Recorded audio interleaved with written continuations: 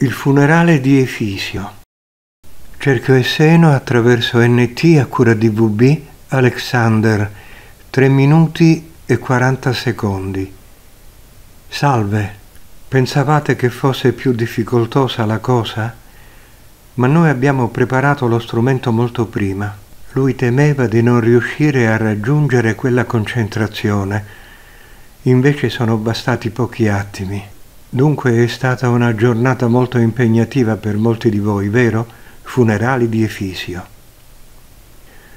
Noi siamo stati presenti e abbiamo accompagnato il caro Efisio nel suo ultimo viaggio materiale, ma lui come spirito certamente non era in quella cosa brutta, vero?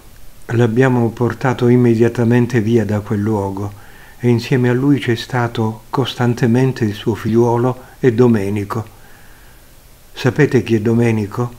Il collega di lavoro che ha fatto tanti fenomeni a Lecce, vero Anna? Anna, sì. Alexander, ricordi il male in peggio? Anna, sì, me lo ricordo. Alexander, bene, sei commossa, ma non devi esserlo in quanto ti abbiamo in fin dei conti accontentata, vero? Non ho fatto altro che ripetere portatelo via per favore.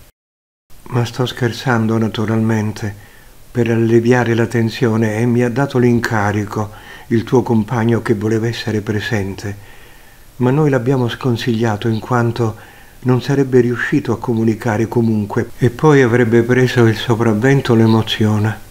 Quindi il suo amico Domenico lo ha portato immediatamente in una dimensione lontana da questa terrena. Però Efisio ha dato l'incarico a me prima di trasferirsi, perché è bello questo termine, di portare un dono alla sua compagna, cioè a te, Anna, che sei stata la sua compagna, vero? Anna, sì, 60 anni.